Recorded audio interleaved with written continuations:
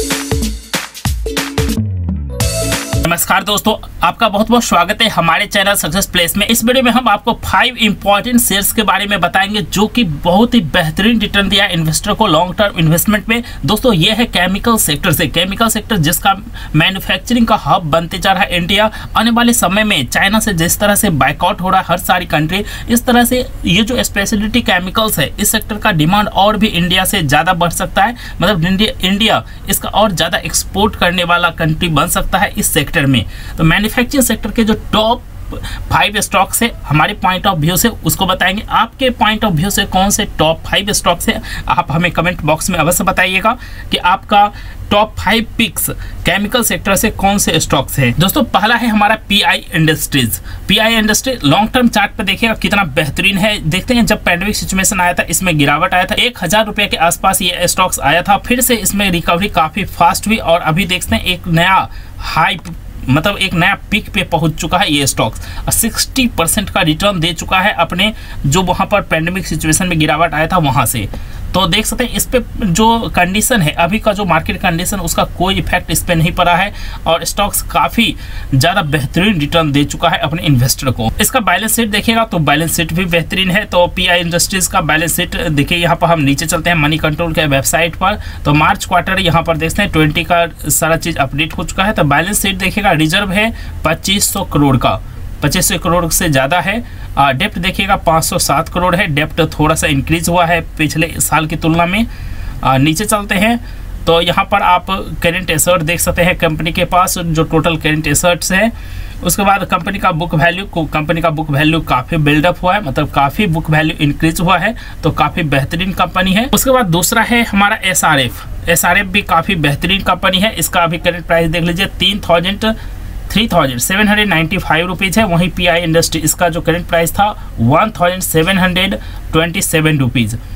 ये सारे स्टॉक्स काफ़ी बेहतरीन वन ईयर में भी बेहतरीन रिटर्न दिया है और लॉन्ग टर्म में भी काफ़ी बेहतरीन रिटर्न वन ईयर में इसका रिटर्न देखिए तो वन ईयर में भी देख सकते हैं काफ़ी बेहतरीन रिटर्न यहाँ से रिटर्न आप देख सकते हैं वन ईयर में है फोर्टी वन परसेंट और लॉन्ग टर्म में देखिएगा तो काफ़ी बेहतरीन रिटर्न दिया है। यहाँ से आप यहाँ से देख लीजिए लॉन्ग टर्म इन्वेस्टमेंट में ये और भी बेहतरीन रिटर्न लॉन्ग टर्म में थर्टी थ्री थाउज़ेंड परसेंट का रिटर्न तो कितना बेहतरीन रिटर्न दिया है एस आर एफ़ तो पी आई इंडस्ट्रीज़ भी बेहतरीन रिटर्न एस आर एफ़ भी बेहतरीन return P I industries long term में ये भी काफ़ी बेहतरीन रिटर्न यहाँ से आप इसका भी देख लीजिए। तो सारे स्टॉक्स का कंपेरिजन करेंगे two thousand three hundred forty two percent P I Industries और एस आर एफ़ कितना दिया है?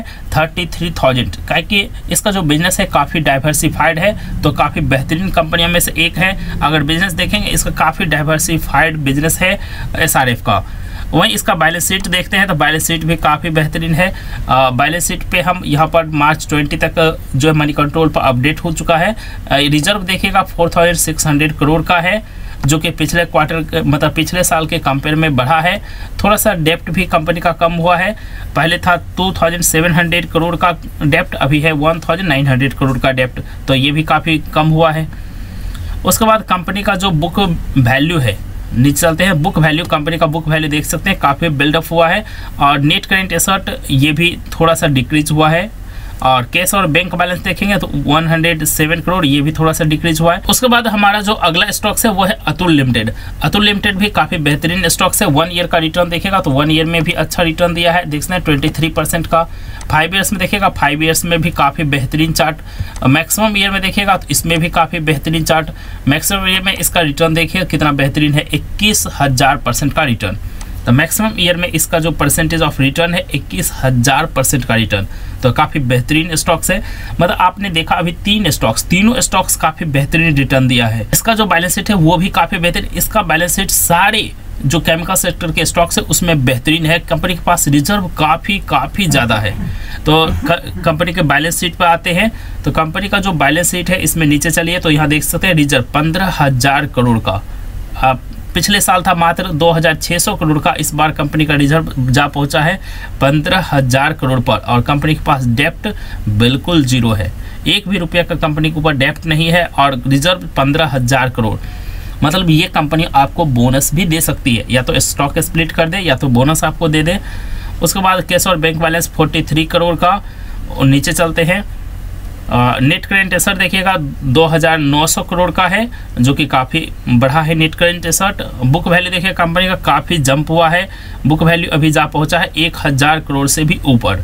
तो देख सकते हैं कितने स्ट्रॉन्ग बैलेंस शीट है इस कंपनियों का।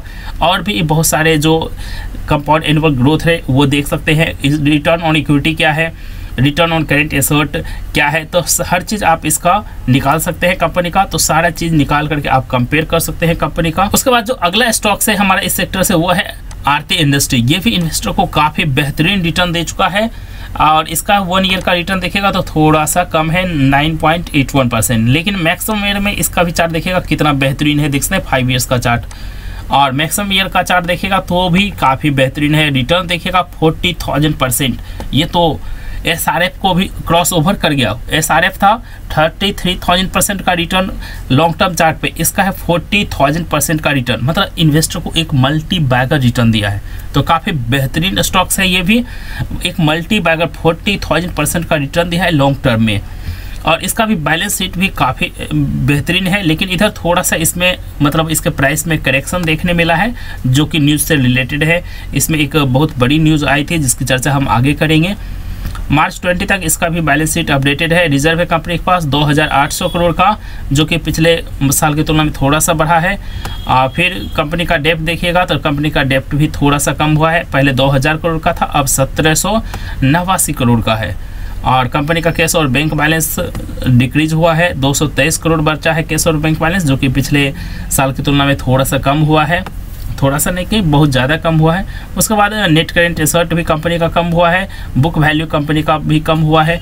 तो थोड़ा सा इसमें जो न्यूज़ है उसका भी प्रभाव पड़ा और थोड़े से फंडामेंटल्स में भी थोड़े थोड़े डिक्रीज हुए लेकिन कंपनी का ओवरऑल रिज़र्व जो है बढ़ा है कंपनी का। इसमें आ, मतलब न्यूज़ आया था कि कंपनी का जो एक एग्रीमेंट है जो कस्टमर का वो ब्रेक हुआ है जो लॉन्ग टर्म का 10 साल का कस्ट कस्टमर था, वो एग्रीमेंट ब्रेक हुआ है तो जिसके कारण इसमें काफ़ी गिरावट मतलब काफ़ी करेक्शन देखने मिला था। जिस कारण इसमें काफ़ी गिरावट मतलब काफ़ी करेक्शन देखने मिला था आरती इंडस्ट्रीज़ के शेयर के प्राइस में।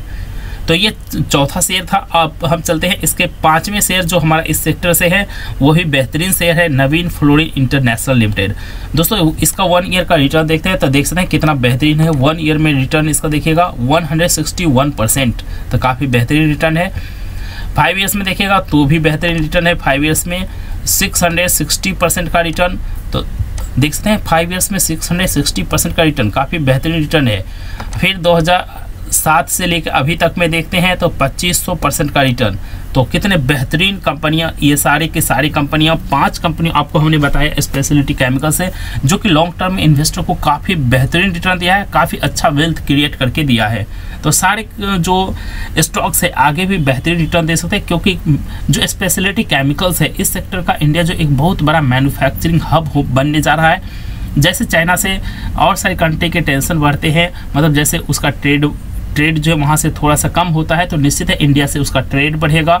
और जो इंडिया है स्पेशली और जो इंडिया है केमिकल सेक्टर में एक्सपोर्ट को इम्प्रूव करेगा क्योंकि यहाँ बहुत ज़्यादा, बहुत सारी कंपनियाँ जो है केमिकल सेक्टर में अपना एक्सपोर्ट करे कई सारी कंट्रियों को। तो आपको इसको, इसके वेबसाइट पर कंपनी वेबसाइट पर जाना है डिटेल में पढ़िए कौन सी कंपनी का बिज़नेस जो है, कौन कौन सी कंट्री में है, कौन सी कंपनियाँ किस सेक्टर में बिज़नेस करती है, किस किस सेक्टर में कंपनी अपने प्रोडक्ट को सेल करती है। तो सारी चीज़ इसके वेबसाइट पर जाइए, पढ़िए। चलिए हम इसके बैलेंस शीट को देख लेते हैं, नवीन फ्लोरिन इसका बैलेंस शीट इसका जो करेंट प्राइस है, वो अभी देखते हैं one thousand six hundred eighty one rupees है। और इसका जो बैलेंस शीट है तो उस पर रिज़र्व देख लीजिए, तेरह सौ नवासी करोड़ का है। और डेप्ट कंपनी के पास बिल्कुल ज़ीरो है। तो कंपनी देख सकते हैं, बिल्कुल डेप्ट फ्री है। और उसके बाद नीचे चलते हैं तो कैश और बैंक बैलेंस दो सौ चौंसठ करोड़ ये भी कंपनी का इंक्रीज हुआ है। उसके बाद नेट करेंट एसेट ये भी इंक्रीज हुआ है कंपनी का। बुक वैल्यू देखते हैं, काफ़ी अच्छा बिल्डअप हुआ है। तो बुक वैल्यू भी कंपनी का काफ़ी इंक्रीज हुआ है। तो काफ़ी सारी चीज़ें हैं मतलब काफ़ी फंडामेंटल चीज़ें हैं जो कंपनी का काफ़ी बेहतरीन हुआ है। तो कंपनी के जो है, बहुत सारे पैरामीटर्स होते हैं, आपको देखने होते हैं। साथ साथ कंपनी के बिज़नेस को देखना है, आगे कंपनी के बिज़नेस में ग्रोथ किस तरह का है।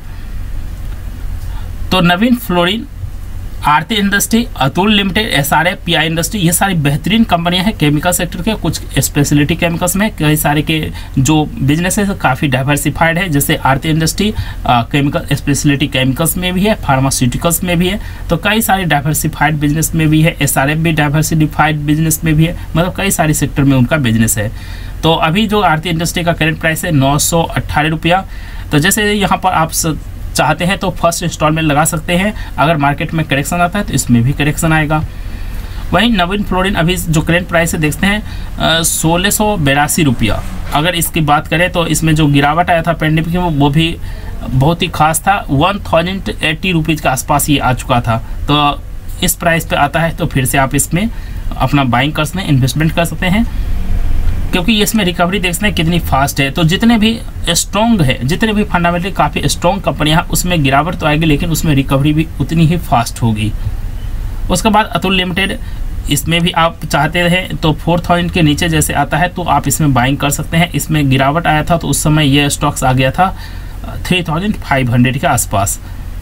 तो ये सारी प्राइस आपको देख के रखना है कि फोर थाउज़ेंड के नीचे आता है, तब आपको इसमें बाइंग का अपना अपॉर्चुनिटी ढूंढना चाहिए कि आप इसमें अगर इन्वेस्ट करना चाहते हैं तो बाय कर सकते हैं। एस आर एफ़ इसका भी करेंट प्राइस अभी है three thousand seven hundred ninety five rupees इसमें पेंडेमिक सिचुएशन में गिरावट जो आया था तो वो, ये स्टॉक्स आ चुका था two thousand six hundred fifty four rupees तो ये भी थ्री थाउज़ेंड के करीब आता है तो आप इसमें इन्वेस्ट कर सकते हैं। इसमें इन्वेस्टमेंट की स्ट्रेटेजी आपको बनानी पड़ेगी कि आपको पहले कुछ स्टॉक बाय करना है, फिर जो है कुछ समय बाद। जैसे हर मंथ जो है आपको इसमें स्टेज बनना चाहिए कि अगर गिरावट आती है तो बाय करें। लेकिन जो पैंडमिक सिचुएशन इस लेवल पे अगर आपको मिलता है स्टॉक्स आप जितना चाहे उतना बाइंग कर सकते हैं मतलब आप अपना इन्वेस्टमेंट कर सकते हैं, लेकिन कंपनी के फंडामेंटल्स को ध्यान रखें कि कंपनी का बिज़नेस जो है प्रभावित ना हुआ हो। कंपनी का फंडामेंटल्स पर कोई इफ़ेक्ट नहीं पड़ता है बिज़नेस पे मैनेजमेंट पे।